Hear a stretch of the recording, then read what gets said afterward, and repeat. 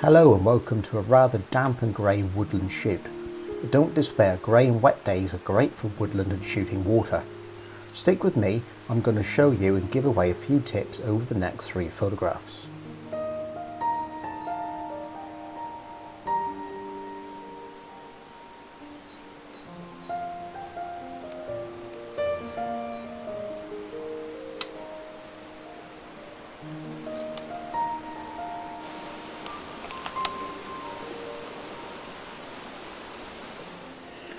Well, good morning everybody. Um, I missed last week's um, shoot to be honest, so I'm not sure if you're getting this video in sequence or not, or it might be a, a week's gap in between. If there has been a week's gap, then I, I do apologise because I do like to get content out every week if I can.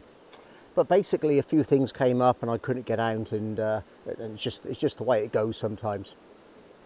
But today we've come out into the woodland. I was desperate to get out and do some photography, but the actual weather forecast today was really quite poor. Um, it was sort of forecasted for rain. Um, there's about a 50 60% chance of rain. It's really overcast. Now, that's one of the reasons I've come out to the woodland. There's also a, a river running behind me, well, actually behind you, and you can probably hear that. Um, but it, it's always a good time to come out when it's sort of overcast and cloudy. It, it makes for really good good woodland conditions really. Um, you don't want really harsh contrasty light, but you do want sunlight, but you just don't want it overpowering the image and making things a bit sharp and a bit difficult to look at. So I've sort of decided on my first composition, I'm not 100% sure if it's going to work. It's all going to come down to when I process the image really and whether I can bring out the lighting that I can see on the picture now and, and bring some life and some um, energy into it. But we'll, we'll see what happens when I, when I get home and process it. So I'm going to take these pictures. I'm going to show you the setup in a minute. We're going to come around the back of the camera and uh, you'll be able to see exactly what it is I've set up and why I've set it up. So you should be able to see the tree just, just over, over here somewhere. Um, it kind of stands out anyway, you can't miss it. And my idea was, was to photograph that tree with all this greenery and foliage behind it. Now I'm having to cut it off at the top quite a bit and the main reason for that is because I don't want to get that really bright sky in it because as soon as that gets over bright and overpowering it's going to draw your eye up into the top of the frame. Not only that, because of the contrast range it's going to be very difficult to sort of control the exposure of it if I include that in it. So I'm going to go for a classic 5-4 um, vertical crop which I think is going to give it a really nice sort of aspect and it's going to look really really good in the frame. Now, I'm being careful where the um, branches actually exit the frame and where they come out. I'm making sure none of them actually go through a corner because I think that's going to create a little bit too much tension in the image. But um, we'll, we'll, see how it goes. So let's get this picture taken and um, see what we're, what we're looking at.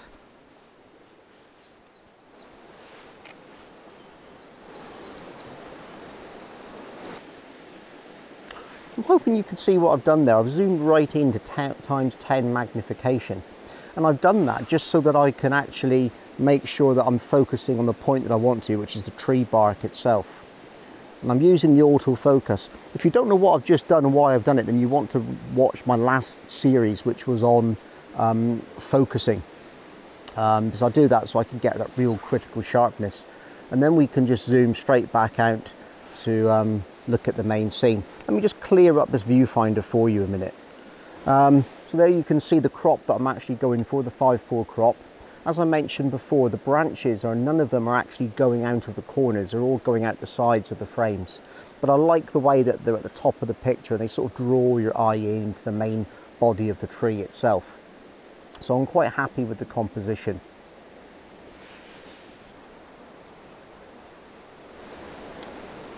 So camera setting wise, I've just taken that last picture at a quarter of a second f4.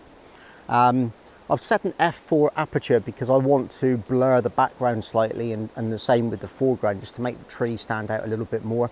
I think I'm going to do a video series later on all about exposure and that'll be like a three series set as well.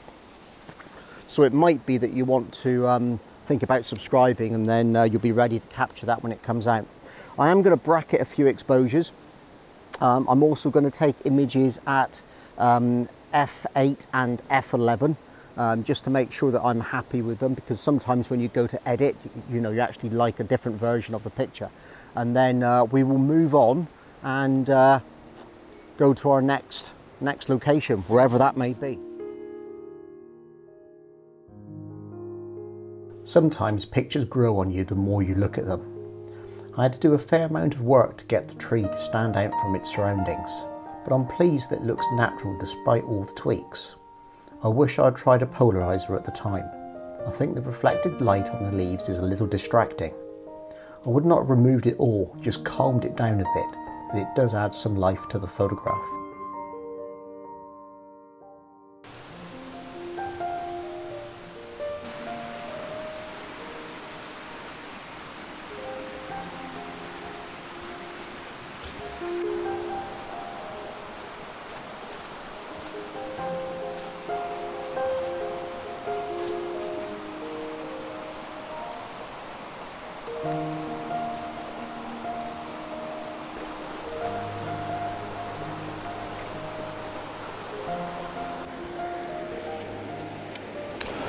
Well, I couldn't really miss the chance, could I really, to have this fantastic river um, and Walkham flowing along the woodland where I'm walking today and not take some pictures of the river itself. There's another good thing about this um, weather. I may have actually said it earlier that not only is overcast, cloudy days and even rainy days good for woodland photography, it's also really, really good for um, taking photographs of waterfalls and, and rivers as well because you just need that lower contrast. When it gets too bright and sunny, um, you get a lot of reflected light off the water and it's very difficult to control contrast and uh, it just looks too contrasty for, for my personal taste. Some people might enjoy it. I'm not saying there's anything wrong with really contrasty images. Anyway, I found this position right down by the riverbank um, on a small little sort of like beach area and uh, I'll show you the composition in a minute. But I just want to talk about my camera setup because um, I've put the polarizing filter on. Now this might go against what some of you know, some of you are more experienced photographers will probably already know this, so forgive me if I'm uh, going over old ground for you, but the polarizing filter is not only good for um, boosting colors and saturating colors, it's also really good when photographing water for taking some of the reflected light off the surface. So um, I'll put a quick clip up on the screen now for you actually of how I'm adjusting this. So you can just see that with no polarization, the water is very, very bright and there's a lot of reflected light. And as I increase the amount of polarization on there, it actually tends to calm that down a little bit and it brings the exposure back a little bit more and it allows you to bring some more detail back into the scene.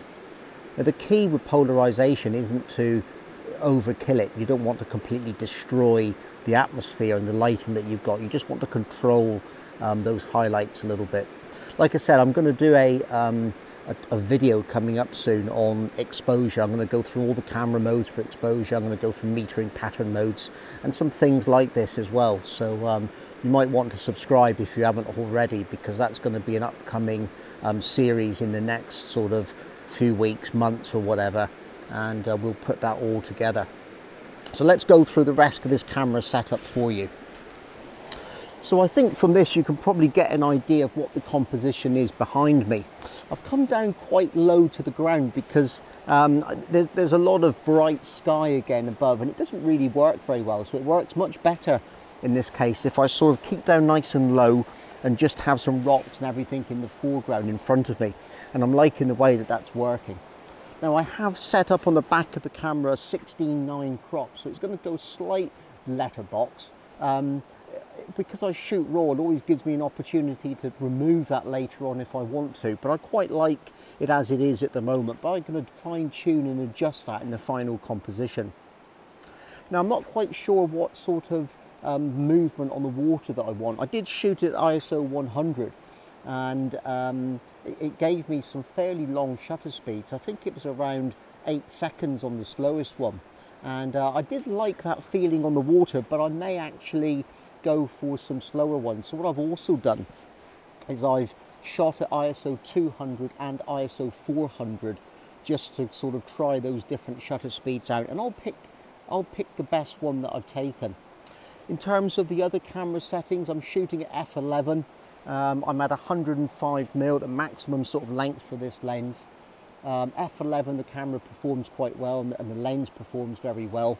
So that's, that's basically what I'm doing. So I'm just going to take a few more of these and I'll put the finished image up for you up on the, um, up on the screen in a minute. And then um, I think it might be time for Ruby and I to have a bit of a cup of coffee and a bit of breakfast maybe even.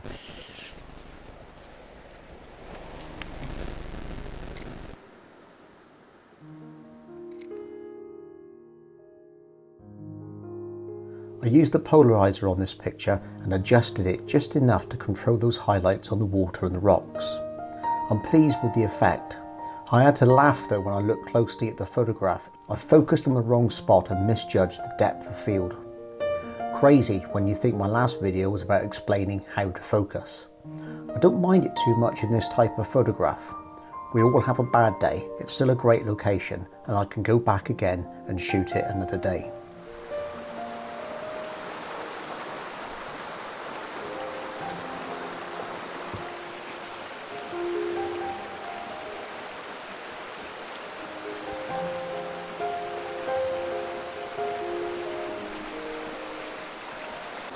Well, I hope that uh, I hope that you're hearing this and getting it because we're really quite close to the river.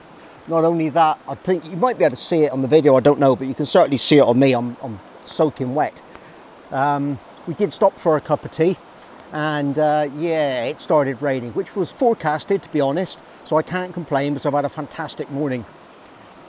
So the photograph that I'm taking here, this was my sort of target location to be honest. I wanted to come down to a place called um, Double Waters, which is basically where the rivers Tavy and Walkham meet, right on the edge of the Dartmoor National Park. But I think we might be just outside of the park to be fair. Um, when I came down um, previously, it was just too bright and too contrasty and I wasn't going to get the picture that I wanted. But I've sort of I think I might have it this time, although there's probably a few other compositions to have. But to be honest, um, everything's getting so wet at the moment that um, I'm, I'm going to call it just this one composition and maybe look at it a different day as well. But what we've got set up here at the moment, you might not be able to see it because it's just below my camera, is there's a boulder down here, there's another one a little bit further along this beach area, and then we've got another one in the river, and then some others leading you out. So there's almost like a, an S curve through the rocks and then down through the river itself. And the reason that I've done that is to draw your eye into the picture. And right at the bottom of the picture, um, it goes a little bit hazy and indistinct. And this is because of the rain that's falling and also it's quite warm and, so, and, and, and humid. So the mist is rising up out of those trees a little bit. And I really like the way that that looks. I hope it's going to come over in the picture. I've put the polarizing filter on again, much as I showed you in the last photograph, just to try and reduce some of the um, brightness on the surface of the water and draw your eye into it. And to slow the shutter down, shutter speed down a little bit more because it's a bit brighter out here now, is I've put a um, 0.9 or 3 stop neutral density filter on there as well. I've had to set it up all very quickly, so I, I didn't go through the setup with you. Um, I'm shooting at, let's just check this a minute.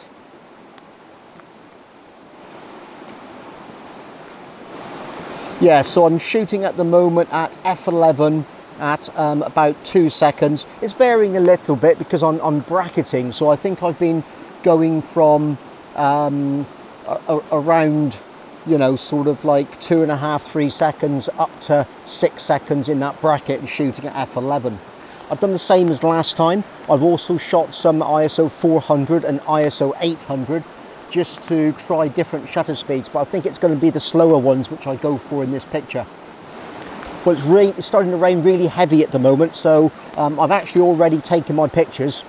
So I'm going to um, put my camera gear away, dry it up a little bit, and whilst I'm doing that, I'll show you the picture that I've just taken, and I uh, hope you enjoy it. This is my favourite photograph from the shoot. A small amount of polarisation, natural use of the boulders to lead your eye into the image, and the feeling of recession and depth from the diffusion caused by the rain in the background. This was the image that I really wanted to capture today, so I'm delighted that it came out so well. It just goes to show that if you pick the right subject and location, grey wet days can produce great photographs. All you need to do is get organised and keep your gear dry.